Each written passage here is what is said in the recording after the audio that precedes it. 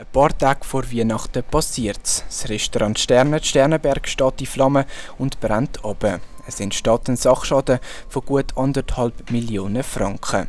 Gut zwei Monate nach dem Grossbrand erinnert nicht mehr viel das Restaurant. Die Wirtin hat den tragischen Vorfall mittlerweile gut verarbeitet und will im Nachbarshaus ein neues Restaurant auftun. Es ist einfach ein riesiger Aufwand dahinter. Also, auch nur schon alles Posten wieder einkaufen, weil ich habe ja ich habe keine Pfanne, ich habe nichts mehr.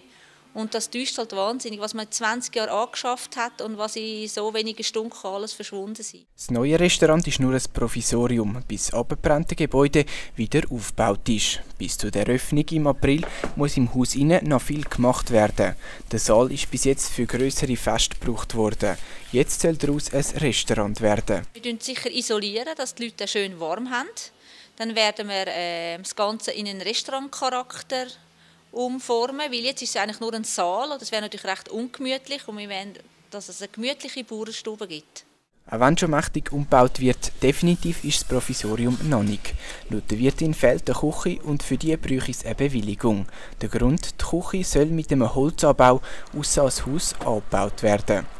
Marianne Brühwiller hofft, dass die Bewilligung gleich kommt, weil sie hätte schon Reservationen für die Ostern bekommen. Man sollte immer nach vorwärts schauen oder nie zurück und das ist einfach das Wichtigste. Und wenn man etwas Positives im Sinn hat, wie ein Aufbau oder eine Neuplanung, dann kann es einem nur noch besser gehen. Wie Zürich berichtet, sei auch die Gemeinde an einer schnellen Lösung interessiert und wird sie Marianne Brühwiller keinen Stein weglegen. Es darf also davon ausgegangen werden, ab im April hat Sternenberg wieder ein Restaurant.